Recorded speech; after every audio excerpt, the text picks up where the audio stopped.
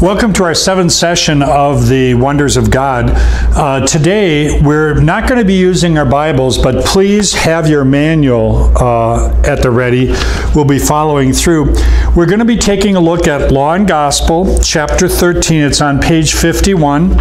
We're going to be talking about justification, and then we're going to be talking about the Spirit's means. And then in the latter half of our 45 minutes together, we're going to start with baptism, and that is on page 71, but I'll let you know when we get there. All right. Um, thank you so much once again for, for being with us. Uh, if you understand chapter 13, you will understand the Evangelical Lutheran Church because everything we see God saying to us in the Bible is either law or gospel. I mean, every denomination has their characteristics. I mean, you you can't go to a Catholic church without seeing the Mass being celebrated. Um, an Assembly of God church, you kind of expect somebody to get up and speak in tongues, or an old time Baptist church, somebody to walk down the aisle to get saved. These are the focus points of their the focal points of their services. But for us as Lutherans, the high point of the service, and this probably explains a lot, is the proclamation of God's word, the proclamation of law and gospel. We see everything God's saying to us in terms of law and gospel. And this isn't just our quirk. We see this in the Bible. For example, Bible passage 1. The law was given through Moses. Grace and truth came through Jesus Christ. Well, the law the Ten Commandments, okay? What God tells us, this is what I expect of you, and if you don't do it, there is trouble. And then grace and truth through Jesus Christ, that's the gospel. God so loved the world that he gave his one and only Son, that whoever believes in him shall not perish, but have eternal life. God's promise to freely forgive sins, grant life and every blessing through faith in Jesus Christ. Now, let's take a look at what the law says, because if I only could proclaim the law, I would not be a Lutheran pastor. Uh, to be quite honest, I would not uh, be a Christian because the law is simply telling us God is ticked at you because you haven't followed what He told you to do, and He's going to get you. Bible passage 2 Through the law, we become conscious of sin. The law acts kind of like a mirror. Um, unless we are the most conceited teenager in the world. You and I, we all use a mirror for the very same reason. Uh, we look into it to see how we look. Do I get, I got schmutz on my face? Is my tie right? And, and so we can get ourselves fixed up before we go out in uh, decent society. Well, the law shows us what we look like to God morally. And when we look at that law, those Ten Commandments, we realize we have not kept them. We are not perfect as God wants us to be perfect. We do not display the holiness He expects us to display in our lives. And um, the law comes with baggage. Okay, and here's some of that baggage. Bible passage 3 Cursed is everyone who does not continue to do everything written in the book of the law. Now, the law doesn't say, I have to be better than my neighbor. No, that's not what it asks. It says we have to continue to do everything written in the book of the law. From our earliest days, all of our life, 100%. And we've got to keep 100% of those commandments. And in a way, this shouldn't be such a revelation because, hey, if I get picked up for speeding, I can hardly say to the police officer, but officer, I've always paid my taxes. That doesn't matter. I've broken the law in speeding. And, and when you think about it, it's like, well, then nobody's perfect. That's right. That's exactly what the law is trying to tell us that not a one of us can get to heaven by our own goodness. Okay? It's like the law is a stop sign. Stop trying to be your own Savior. Stop trying to think that, that you're good enough for God. Stop trying to think that you can earn your way to heaven. And we might be thinking, well, if I can't get to heaven, there's going to be nobody there. God can't send everybody to hell. Well, look at Bible passage uh, 4. No one will be declared righteous in his sight by observing the law. That's exactly what the law says. Nobody is going to get to heaven by being good enough. Well, if I can't be good enough to get to heaven, I, I, I kind of want to get to heaven though. Isn't there another way? Now the law has done its job.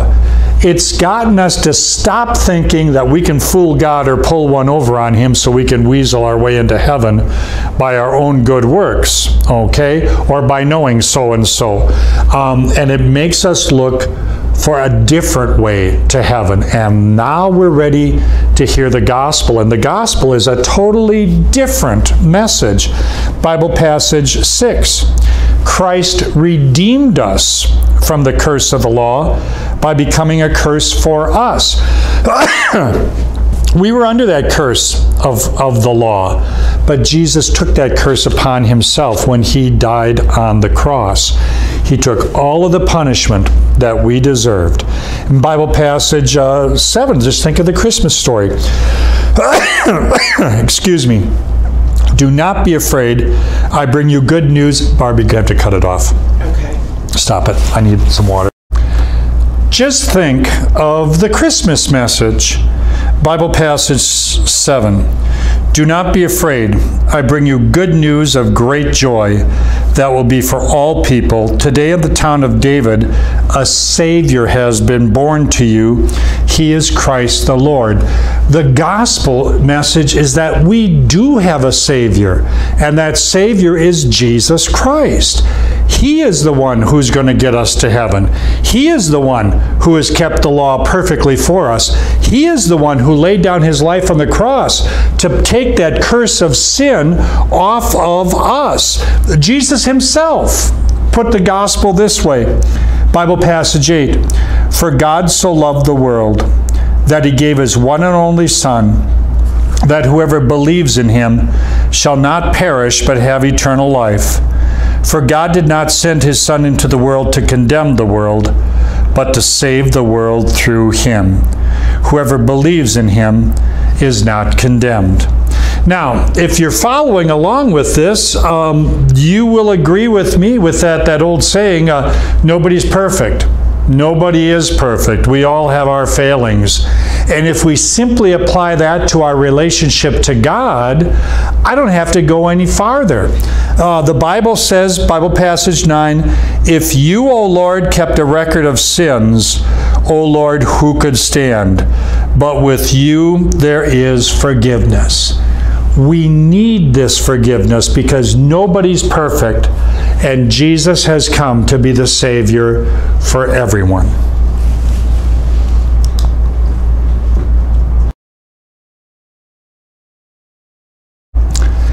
This brings us to justification. Now, justification is, as used in the Bible, it's, it's a legal term.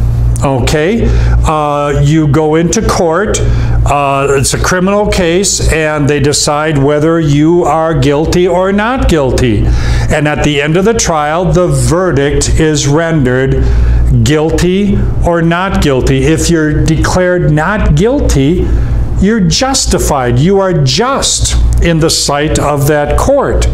Well, the Bible says, Bible passage 12, using that same legal framework, come now, let us reason together, says the Lord. Though your sins are like scarlet, they shall be white as snow. Though they are red as crimson, they shall be like wool. I mean, if sin was red paint, we would all look like a fire hydrant. Uh, we are as, as guilty as sin but for the sake of Jesus Christ. God simply declares us not guilty of sin. And if God makes that declaration, then we are. Bible passage 13. God was reconciling the world to himself in Christ, not counting men's sins against them. I mean, it, it's like God's better than Santa Claus.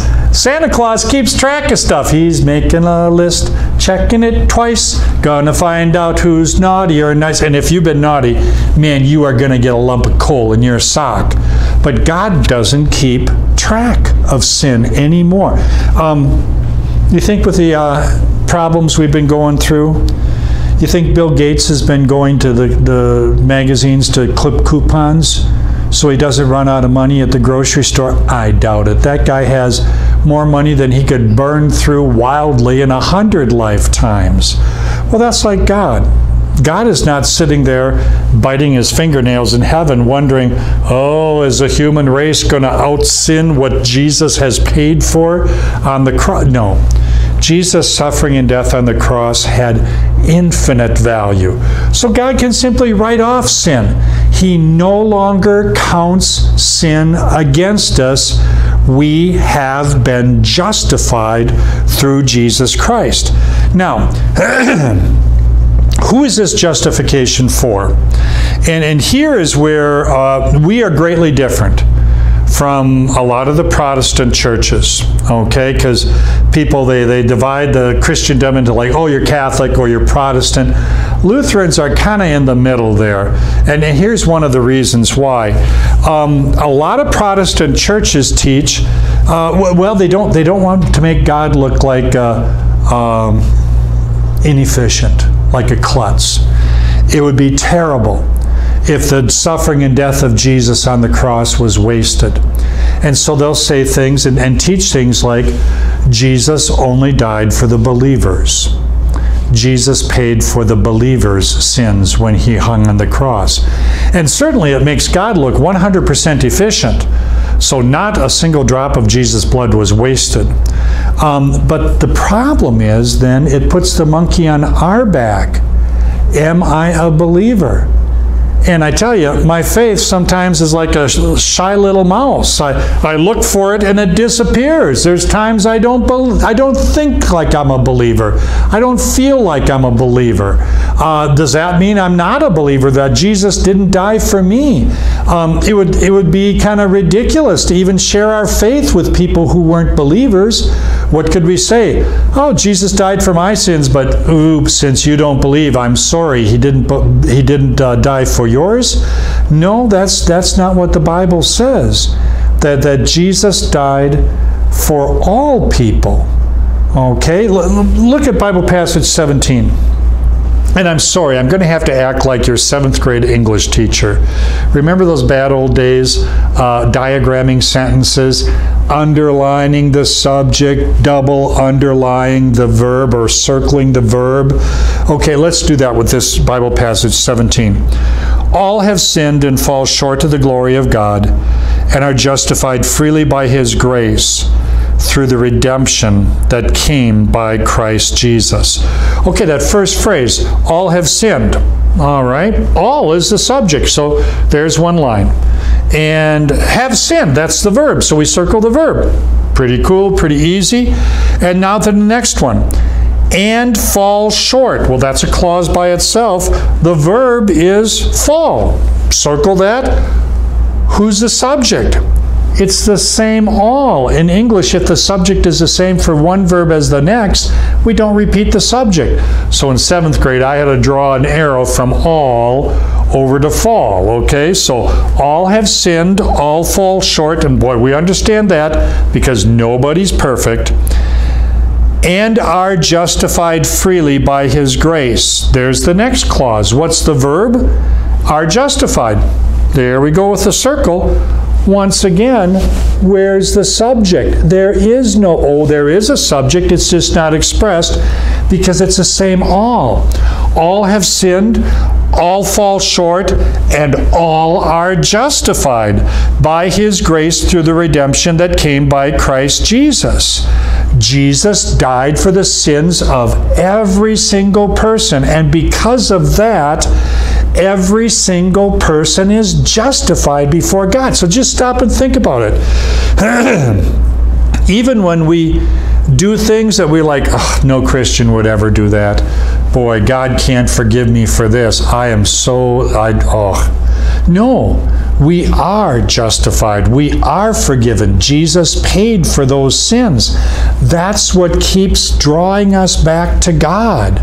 The message that God gives us is not, yeah, come and take your beating like a man. Uh, no, it's there's forgiveness, there's love, there's acceptance with the Lord. And that's why that's the message that dominates in our dealing with the children.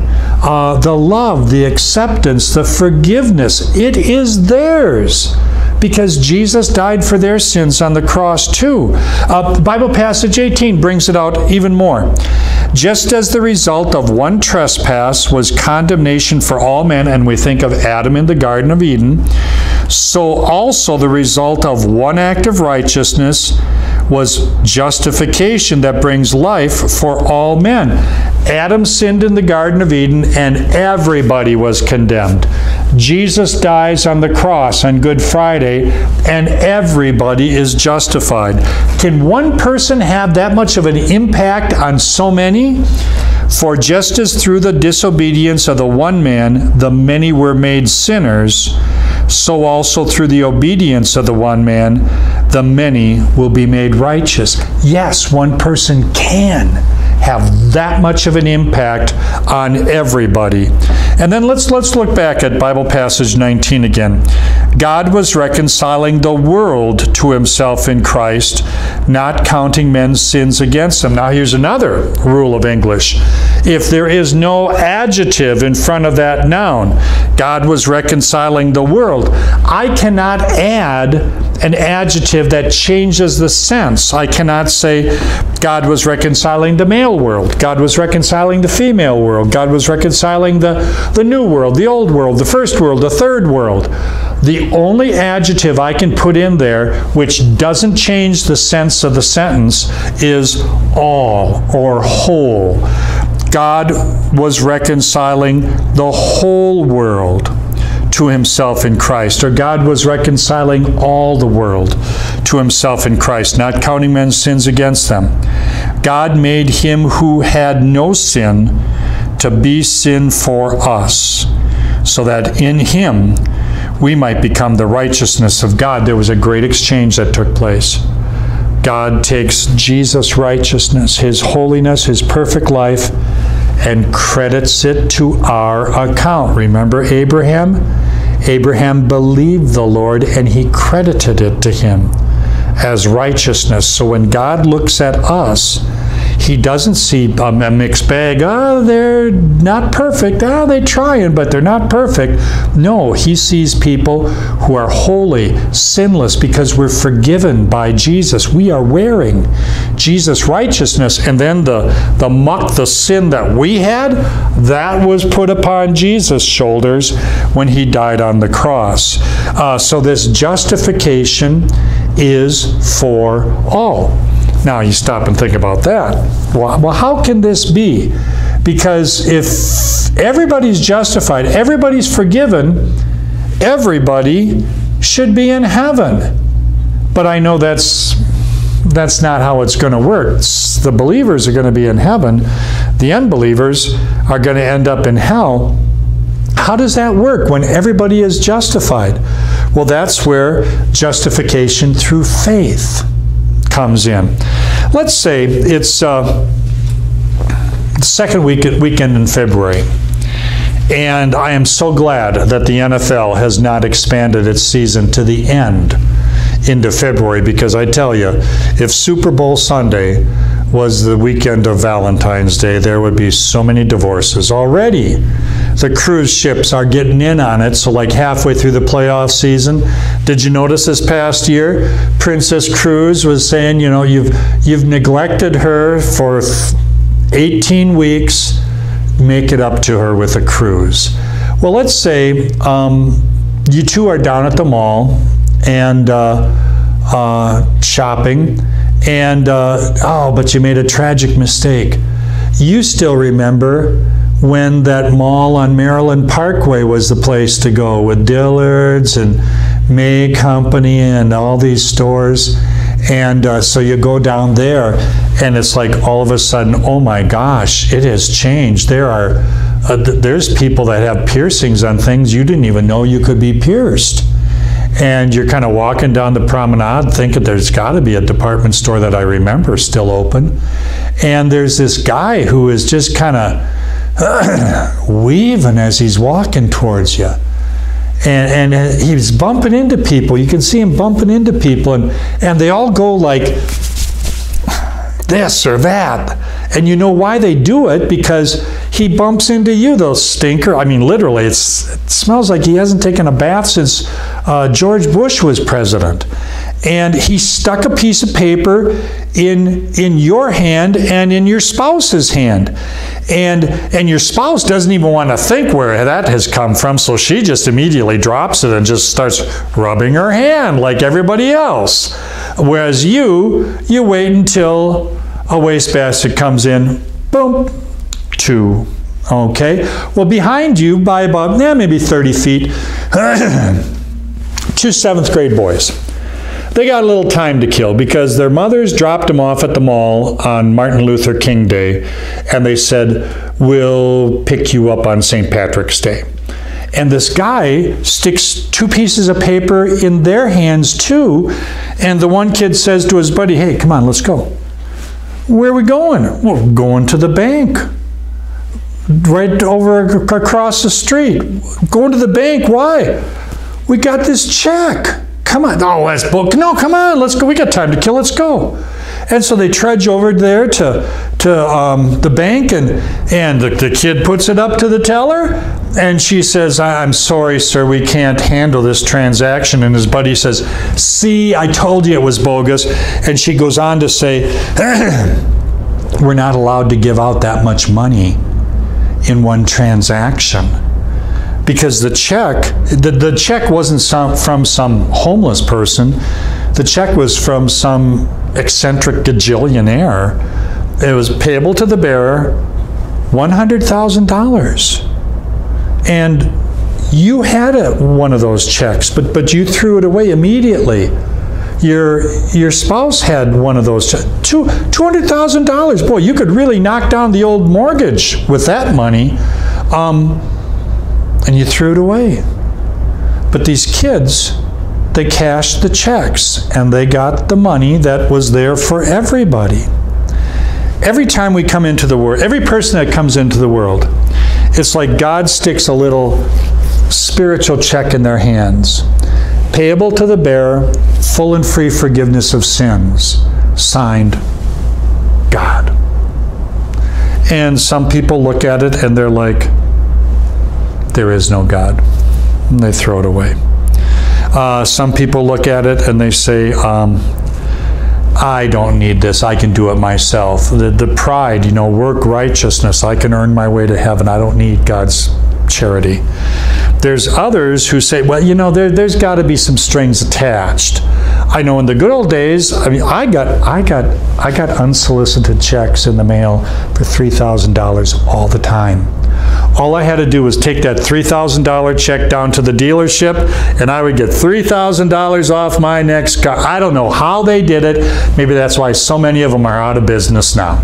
But you know how they did it. Either the value of my trade-in would be $3,000 lower or they jacked the price up $3,000. Eh. But those who believe, who cash the check, get what God is offering. By faith, they make it their own. It was good and valid for everybody. It is justification for all, but it's justification that is received through faith. Look what the Bible says. Bible passage 21. The righteous will live by faith. And Bible passage 22. Believe in the Lord Jesus and you will be saved.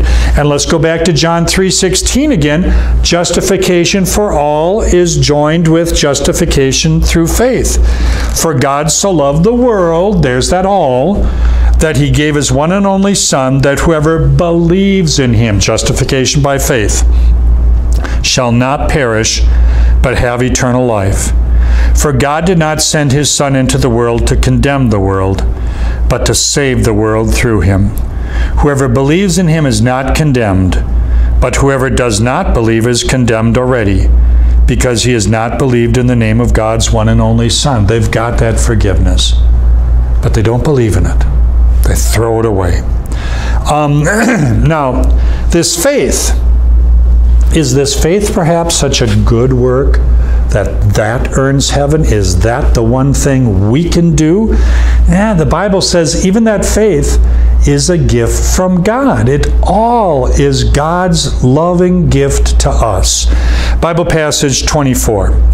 A man is justified by faith apart from observing the law and apart without any kind of human endeavor.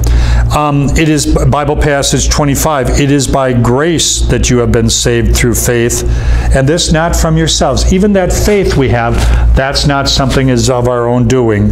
It is the gift of God, not by works, so that no one can boast.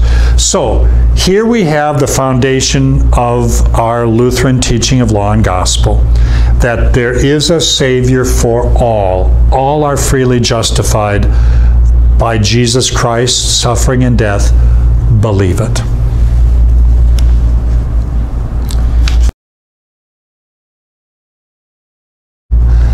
Now, what, how does God get that message of forgiveness to us? What does the Holy Spirit use? Bible passage 27 on page 53. Faith comes from hearing the message. Oh, but remember, there's two messages in the Bible law and gospel. Which one brings us this message of forgiveness? And the message is heard through the Word of Christ, the gospel. That's why the gospel is going to predominate in everything we do. Every one of the chapels we have with the kids, I want them just hopping and skipping out of chapel thinking, what a wonderful friend I have in Jesus. What a wonderful God I have. How happy I am to be a child of God. And, and I kind of want everybody going out of church on Sunday morning with that same feeling because through the gospel, people come to faith. Remember Evangelical, Green Valley Gospel Church? That's what we're talking about. And uh, the message that God has given, it, it's been given to us to spread.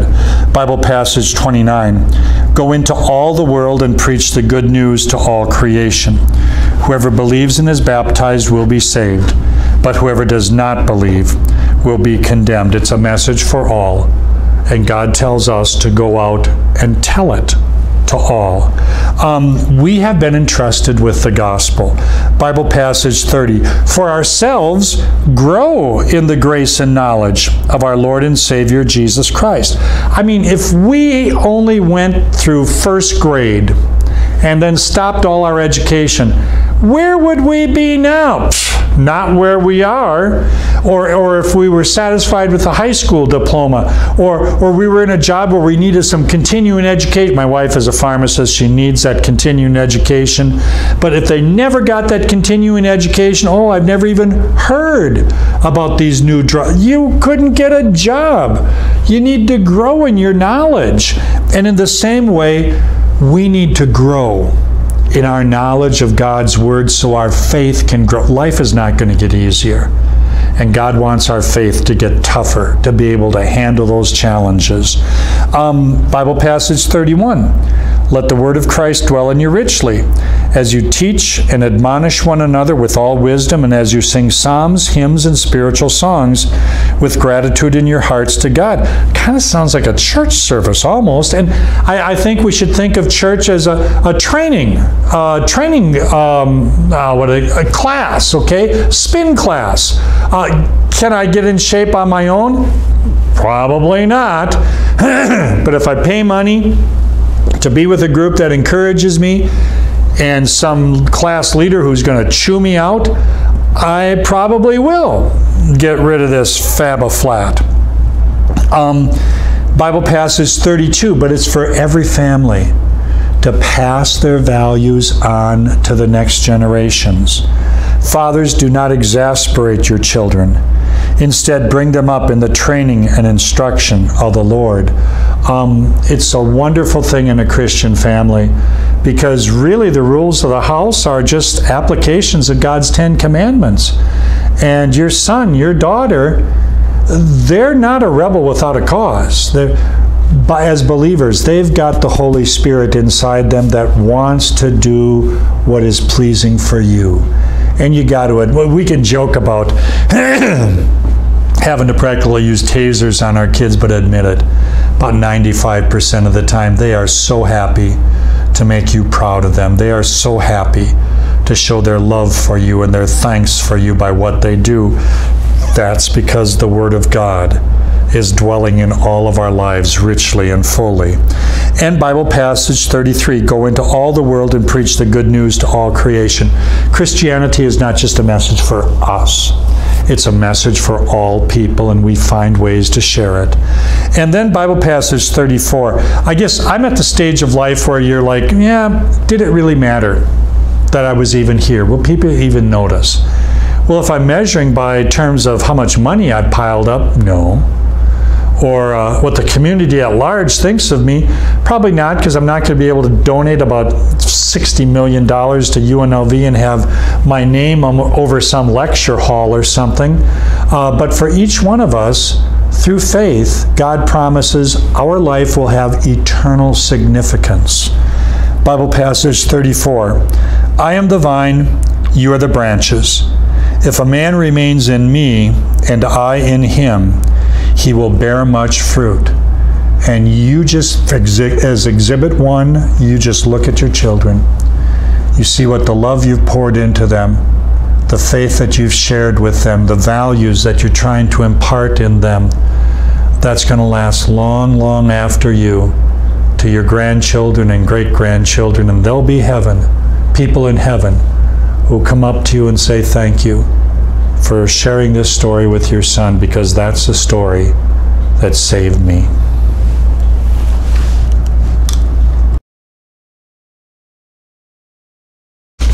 This is the last section of today's lesson, and we're on page 71. We're going to be talking about baptism. Now, um, I make a big thing about baptism. It comes up in at least two places uh, in our chapel talks, one where Jesus himself is baptized, and we've talked about that previously. Um, and then also, before Jesus ascends into heaven, he gives that, that great command to his disciples to go and make disciples of all nations, baptizing them. Uh, how do I know I'm a child of God? If I've been baptized, I've got objective proof that I'm a child of God. But let's let's carry this out in the lesson. Okay, on uh, Bible page 71, Bible passage 1. Jesus command. Go and make disciples of all nations, baptizing them in the name of the Father and of the Son and of the Holy Spirit, and teaching them to obey everything I have commanded you. Jesus gives his Christians this command to go and make disciples by baptizing them. Now, that word baptize simply means to, to apply water in some way to cleanse. Uh, so whether you dunk somebody or you pour water over their head or sprinkle water over them, um, how you apply the water doesn't matter, but that you do apply water with that Word of God. And let's take a look at that Word of God. Um, we're baptized in the name of the triune God, God the Father, God the Son, and God the Holy Spirit. Bible passage 2 You are all sons of God through faith in Christ Jesus. For all of you who are baptized into Christ have been clothed with Christ. How do I know I belong to God? How do I know I'm in God's family? If I've been baptized, that's when God made me part of his family. And I'm clothed with Christ. That explains why maybe our grandmas call baptism, oh, you're getting Sammy christened christened, yeah, Jesus Christ is put upon you. His righteousness, His holiness is now counted as ours through that baptismal faith. And that explains why some families got the tradition of even the boys, they, they dress them in these white flowing baptismal gowns. The kid might have a load of diapers underneath, but in God's sight, he's perfect, uh, holy, sinless, without wrinkle, blemish, or spot.